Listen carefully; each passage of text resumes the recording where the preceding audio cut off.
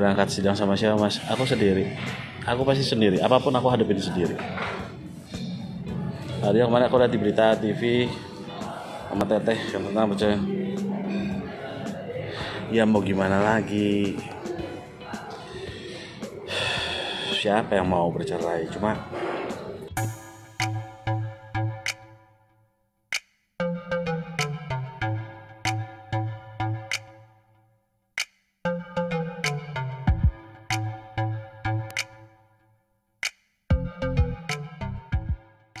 Berita tak menyenangkan datang lagi dari artis Rio Rivan kali ini. Keempat kalinya Rio Rivan diamankan oleh pihak yang berwajib karena dirinya ketahuan memakai dan mempunyai barang terlarang.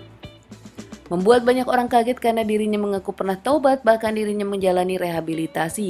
Di tengah permasalahan perceraiannya dengan sang istri Henny Mona belum selesai, bahkan Henny Mona menikah lagi dengan Sandi Tumiwa secara siri, Rio Rivan melaporkannya kepada pihak yang berwajib. Bukan Mona atau Sandi yang diamankan, namun kini dirinya lah yang diamankan terkait permasalahan obat-obatan terlarang. ya sudah gitu loh. Maksudnya kalau itu yang terbaik tidak menyiksa satu sama lain ya sudah. Eh ada Wong Mei dan eh udah sarapan belum? Udah sarapannya adalah makan hati. Gua nggak mau Allah itu kasih kisah indah di ending gua mau Allah itu kasih kisah indah di setiap momen yang ada. Bersyukur aja. Gue kurang luar biasa apa sih? Masuk penjara hat trick ya kan? Lagi yang kurang? Menikah beberapa tahun dengan Henny Mona bahkan saat di dalam tahanan Henny Mona selalu mendampingi Rio Revan. Entah apa alasannya, Rio Revan menyebutkan dirinya menceraikan Henny Mona bahkan masih dalam penjara pun saat itu Rio berencana menceraikan Henny yang tak tahu apa-apa. Kaget digugat cerai Rio Revan saat Rio keluar bahkan Henny Mona tak tahu apa alasannya didampingi saat di dalam rutan namun saat keluar dirinya ditinggalkan. Sempat sedih dan geram namun nampaknya Henny Mona bisa move on. Dirinya menemukan Sandi Tumiwa hingga menikah siri dengan Sandi Tumiwa karena masalah perceraiannya dengan Rio Revan belum selesai.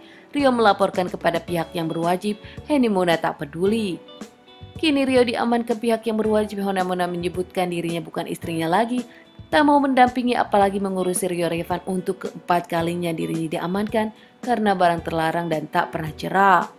Henny Mona kini tak mau ambil pusing lagi.